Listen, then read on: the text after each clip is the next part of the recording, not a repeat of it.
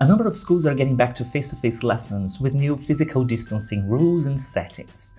But many teachers are still unsure about how to go about it. After all, some of the staples of EFL or ESL, like pair work, board games, and handouts, are not so safe right now.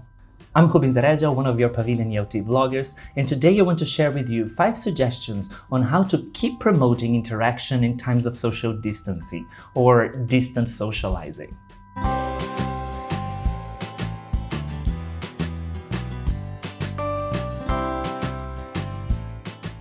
Number of adaptations are being made to classrooms and lessons to accommodate the new normality.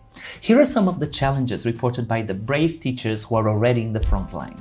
Understanding students who are wearing masks, ensuring students understand instructions when the teacher is wearing a mask, helping students notice the mouth shape for specific sounds, groups with a mix of face-to-face -face and virtual students or student rotation, ban on handouts, board games, or any material that can be passed on from student to student, and monitoring students' work and collecting samples for language feedback. All of these challenges are being dealt with in different ways in different contexts. Some teachers and students are allowed to use face shields instead of masks. Some classrooms may have see-through partitions between students and not require face covering, but the challenge to promote safe interaction among learners is pretty universal. So let's cut to the chase. Tip number one, follow local recommendations and guidelines closely. Measures to contain the spread of COVID-19 vary tremendously from country to country, city to city, and even among schools. As teachers, it has become part of our job not only to be aware of the safety measures that are being implemented and abide by them, but also to communicate them to parents and enforce them in the classroom so that everyone feels that they are in a safe environment. If you haven't been back to the classroom yet, but you want to know what it's been like for those who have, you can check the September 2020 edition of ET Professional, where you find a very interesting interview with two teachers carried out by Nick Baguli. Tip number two, introduce collaborative projects.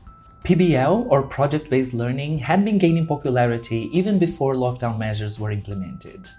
In previous videos here at Pavilion ELT, I talked about how projects can be helpful in online learning, but they are also very useful to create a collaborative learning experience while keeping a distance. According to David Hill, project work is child-centered.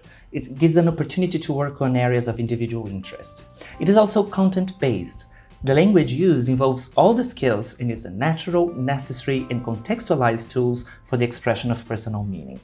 He says that projects are also integrated, and the integration of different aspects of the topic aids the learning process and eases the language learning load.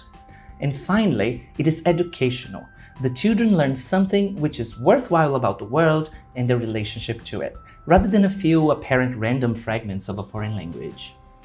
In the article I mentioned, Hill's talking about children, but the benefits also apply to teenage and adult students. If you're a subscriber of Modern English Teacher or ET Professional, you can find on the websites a lot of different accounts of teachers who have successfully used projects with learners of all ages.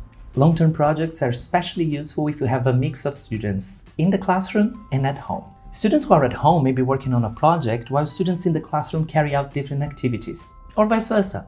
And even students in the classroom and at home may be working on a collaborative project simultaneously. Tip number three, use technology. Or not. I know many of us are tired of technology after so many months relying so heavily on online teaching. But the things we've learned during lockdown can end up being quite useful in our face-to-face -face, but physically distanced lessons. Digital tools can allow students to collaborate from a safe distance and mitigate some of the challenges posed by physical distancing and face coverings. Here are some digital tools and technology uses that can definitely come in handy once you're back in the classroom. Brainstorming with Padlet, collaborative writing with Google Docs, pair work from a distance using earphones and video or voice call apps, checking answers in pairs using instant messaging apps, sharing digital handouts via Dropbox or Google Drive. If you do need a break from technology, Jade Blue wrote a very practical and straightforward post with low-tech suggestions on how to organize whole class or plenary discussions. I'll include the link in the description below. Tip number four, bring back some good old drills. Remember the old days when teachers remained behind their desks and students were expected to face forward and not interact with anyone around them? Well, teachers and students made it work somehow, right? Drills can be repetitive and boring if students are just mindlessly repeating what the teacher said or making meaningless substitutions just for the sake of grammar. But with a little twist, drills can become more interactive, engaging, and fun. According to Scott Thornbury, many teachers, even those who subscribe to a communicative approach, feel the need for some sort of repetition practice of the kind that drills provide. This may be for the purpose of developing accuracy or as a form of fluency training, that is, in order to develop automaticity. Hence, communicative drills were developed. A communicative drill is still essentially repetitive and focuses on a particular structure or pattern, but it has an information gap element built in. In fact, some classic classroom activities are nothing more than drills in disguise, and they can be quite fun. So much so that some of them are actually very common party games. And here are some of them. Find someone who activities, 20 questions, who am I, never have I ever, Simon says with students giving comments, and going on a picnic.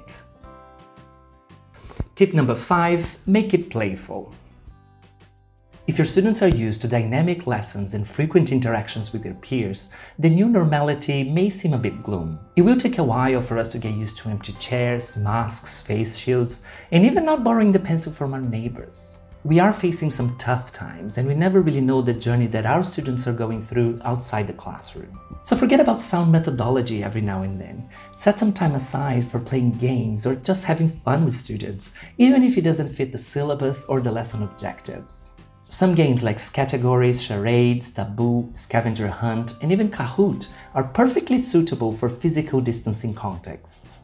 They help us build rapport with and among students, and in such serious times, they can help us relax and just have a laugh. And remember that if it's hard to see a smile when we're wearing a mask, we just need to remember to smile with our eyes. If you are already back in the classroom, let us know in the comments what you've been doing to keep your lessons interactive. And you can also connect with me on social media at WhatIsELT. Keep safe and keep teaching.